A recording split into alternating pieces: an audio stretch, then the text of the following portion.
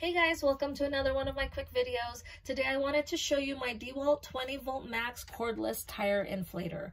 Before I bought this tire inflator, every time my tires are low, I had to go to the tire shop or gas station to fill the air. Then I had to either wait forever in line for my turn or find out that the air compressor is broken. So it's always a hit or miss. As busy as our lives are around here, I needed efficiency to make sure things get done, including being able to quickly fill my tires when needed. That is why I decided to buy this DeWalt tire inflator.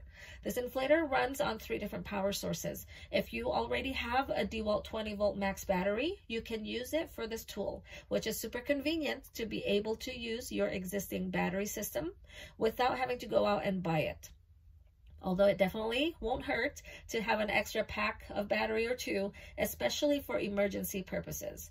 You can also connect it to a 12 volt DC or 110 volt AC power source as well. This inflator is very easy to use, even for someone who isn't familiar with using an air compressor or tire inflators.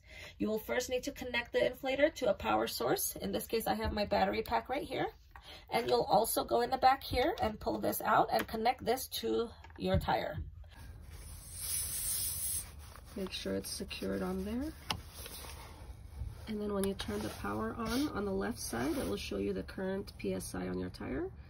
And then for the right side, you can spin that little wheel there and put it where you want it to be for your specific tire. All right, and then press the start button and that will start inflating your tire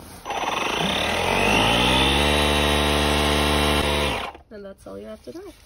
Another feature I really appreciate with this inflator is its versatility. It comes with several different attachments that can also be used to inflate other things such as sport equipments, pool toys, or air mattresses. This inflator has a maximum pressure of 160 psi, which is more than enough for most of your inflating needs. I haven't had it for too long, but so far I am very amazed at how quickly and easily I am able to inflate my tires at home. It is heavy duty, yet small, lightweight, and easy to handle, which makes it easy to carry around and store in the car. I can also take it with me on long road trips, camping trips, or anywhere I go.